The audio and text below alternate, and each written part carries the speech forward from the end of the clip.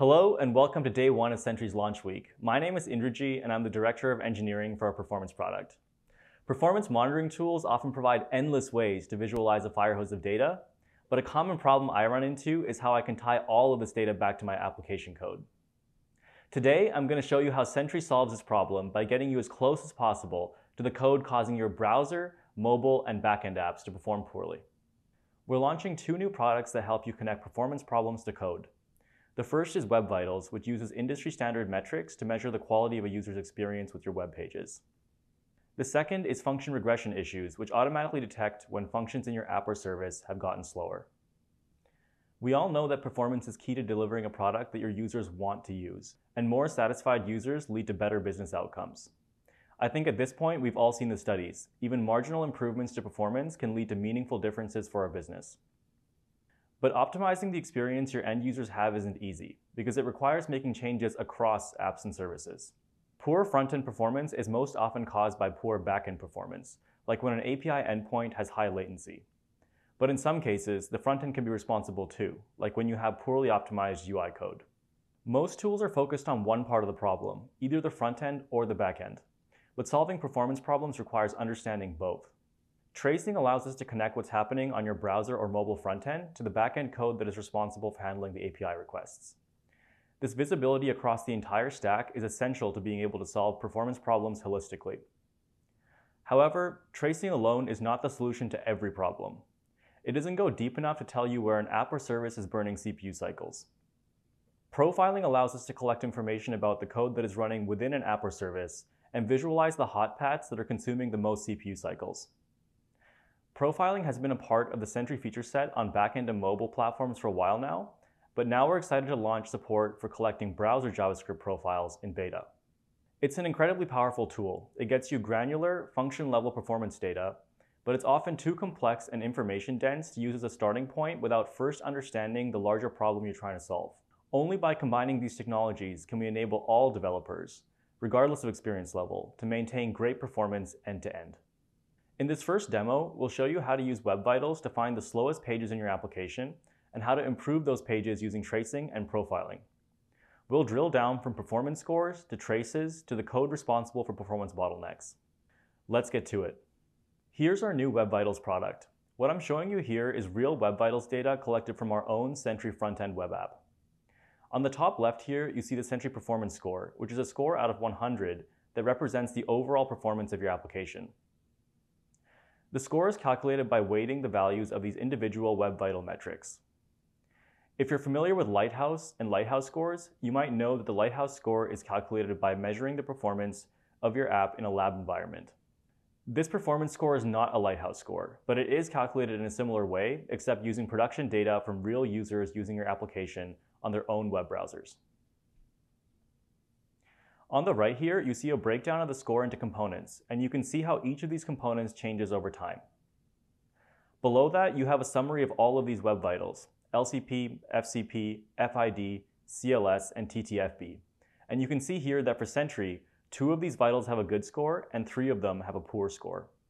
In order to improve our web vital scores and in turn improve our overall performance score, we have to improve the performance of individual pages. Here we see a list of the pages in the app alongside their web vital scores and the performance score of each page. We also have this opportunity column on the right, which represents the biggest opportunities to improve your overall performance score. You can see here that this first page with an opportunity score of 11.43 offers the biggest opportunity for us to improve our application's overall performance score. So let's take a look at this page and see what we can do to improve its performance.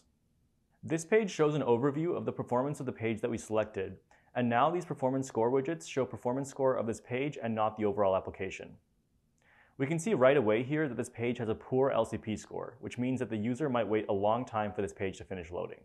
Underneath that, we have a list of individual page load events. These represent real users loading this page in production. For each event, we show the web vitals and we show the performance score for that page load.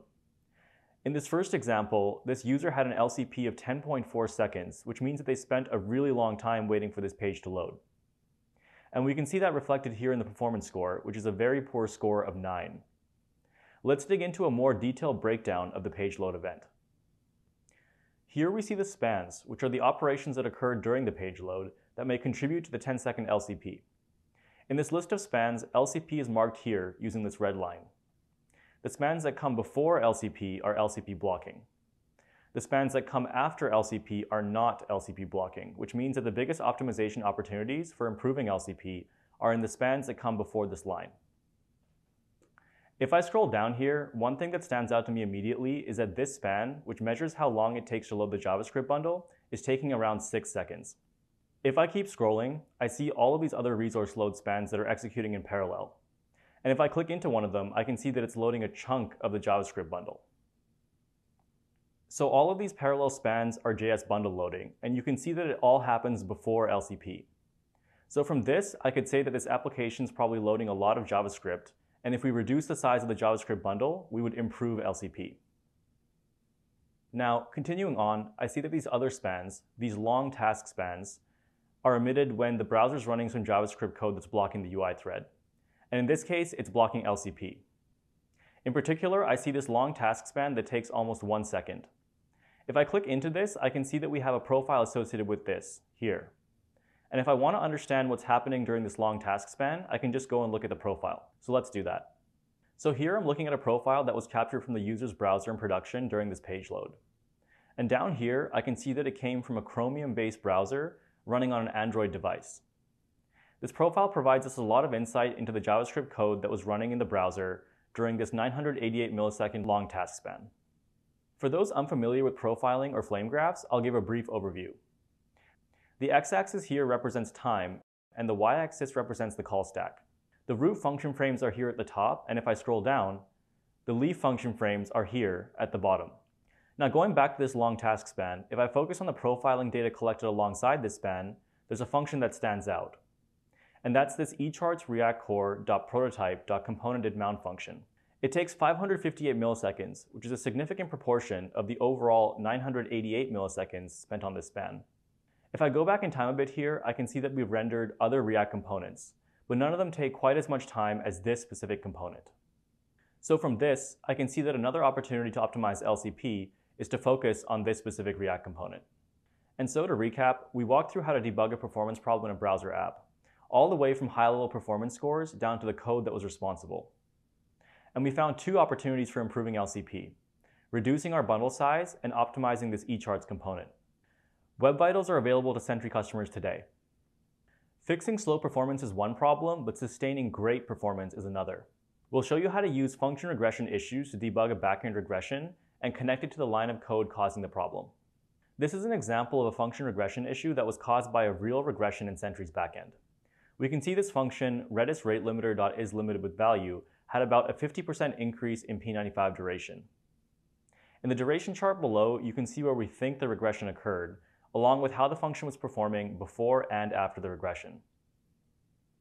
You can see here there's a pretty clear change in P95 duration right around this time. If we look at the throughput chart below, we see a clear correlation. The throughput after the regression was higher than the throughput before the regression. This suggests that increased load might be one of the causes of this regression. Below this, you can see a list of API endpoints that were impacted by this regression.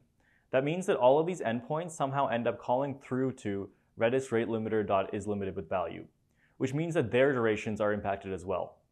In this first endpoint, you can see that its P95 duration has regressed from 330 milliseconds to 458 milliseconds as a result of this function regressing.